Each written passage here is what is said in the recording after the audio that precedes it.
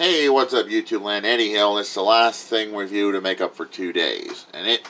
This is something from Star Wars Rebels, and it's Kanan Jarrus's lightsaber, which is pretty long. I can't get the whole thing out on camera.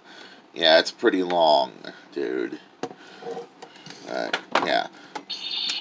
Does make noise, but I think the batteries are near dead, so not gonna get much out of it.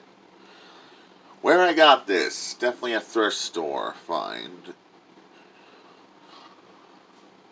You could probably find this maybe, um, maybe on eBay, maybe Amazon for a good price.